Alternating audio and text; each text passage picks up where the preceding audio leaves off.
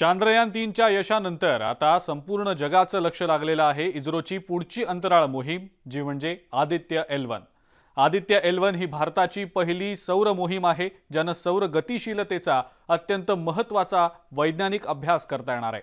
दोन सप्टेंबरला सकाळी हे आदित्ययान प्रक्षेपित केलं जाणार आहे आणि त्यानंतर आदित्य एल वन मोहिमेचं महत्त्वाचं उद्दिष्ट जे एल वन भोवतीच्या कक्षेतनं सूर्याचा अभ्यास करणं आहे ते साध्य होऊ शकेल. आंतरग्रहीय माध्यमात सौर गतिशीलतेचा अत्यंत महत्त्वाचा वैज्ञानिक अभ्यास प्रदान करणारी आदित्य एल्वन ही भारताची पहिली सौर मोहीम आहे. अंतराळ यानाची रचना अशा प्रकारे केली गेली आहे की ते सौर कोरोनाचं दूरस्थ निरीक्षण आणि सौर वाऱ्यांचं अबाधित निरीक्षण करून ती निरीक्षणं इस्रोला पाठवणार आहे. इस्रोच्या या अत्यंत महत्वाकांक्षी मोहिमेबद्दलची सगळी माहिती या व्हिडिओमध्ये पाहूया.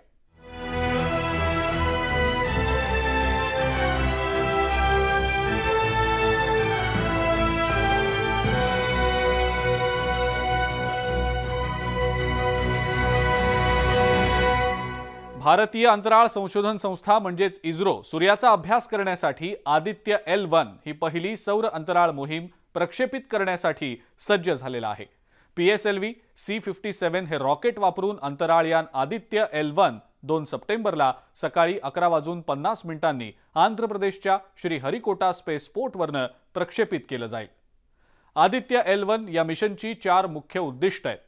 सौरपृष्ठभागाचं भौतिक भौतिकशास्त्र आणि त्याचं हीटिंग मेकॅनिझम अभ्यासणं सौर वाऱ्यांच्या प्रवेगाची गतिशीलता समजून घेणं कोरोनल मास इजेक्शन म्हणजेच सीएमईसचं मूळ आणि गतिशीलता तपासणं आणि त्याचबरोबर आंतरग्रहीय माध्यमातील कण आणि क्षेत्रांच्या प्रसाराचा अभ्यास करणं. आदित्य एल्वन मिशनचं भविष्य नेमकं काय? अंतराळयान सूर्याच्या थरांचं निरीक्षण करण्यासाठी सात पेलोड घेऊन जाईल हे फोटोस्फिअर क्रोमोस्फिअर आणि वेगवेगळ्या वेव्ह बँड्समधील पृष्ठभागासह तीन बाह्यतम स्तरांचं निरीक्षण करणार आहे.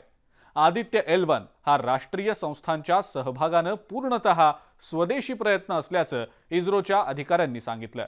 आदित्य एल वनचं नेमकं बजेट किती आहे?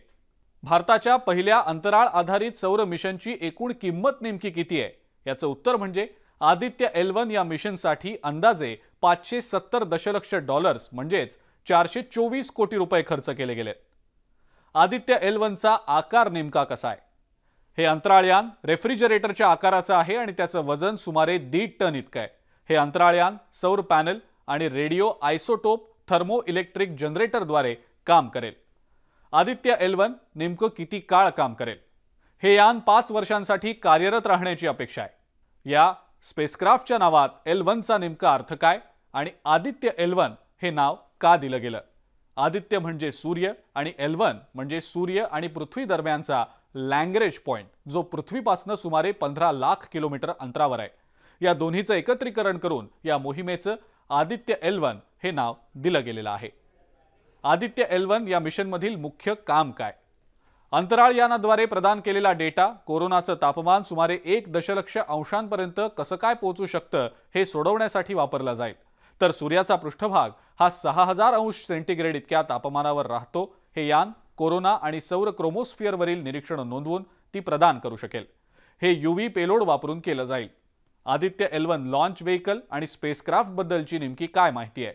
आदित्य एल्वन हे बंगळुरूमधल्या यू आर राव उपग्रह केंद्रानं विकसित केलंय आणि ते आंध्र प्रदेशमधल्या श्री हरिकोटा इथल्या इस्रोच्या अंतराळ केंद्रावर पोहोचलेलं आहे. आदित्य एल्वन सूर्यावर उतरेल का? आदित्य एल वन सूर्य आणि पृथ्वी प्रणालीच्या एल वन बिंदूभोवती प्रभामंडल कक्षेत ठेवण्याच्या उद्देशानं प्रक्षेपित केलं जाणार आहे. आदित्य एल वन या मोहिमेचे नेमके काय फायदे? आहेत इस्रोनं दिलेल्या माहितीनुसार एल वन या प्रभामंडल कक्षेत आदित्य एल वन हा एक मोठा फायदा ठरू शकतो कारण तो कोणत्याही ग्रहांना अडथळा न ठरता सूर्याच्या पृष्ठभागाचं निरीक्षण करू शकतो आणि यामुळे सौरक्रियांचं निरीक्षण करण्याचा आणि रिअल टाईममध्ये अवकाशातल्या हवामानावर त्याचा परिणाम पाहण्याचा अधिक फायदा होईल असंही इस्रोचं मत आहे. चांद्रयान तीनच्या यशानंतर आता इस्रोच्या सगळ्या भविष्यातल्या मोहिमांवर संपूर्ण जगाचं अत्यंत बारकाईनं लक्ष लागून राहिलेलं आहे. आणि त्यामुळेच आदित्य एल वन मोहिमेकडे सुद्धा जगाचं लक्ष लागून राहिलंय. हा व्हिडिओ तुम्हाला कसा वाटला ते आम्हाला कमेंट्समध्ये नक्की कळवा.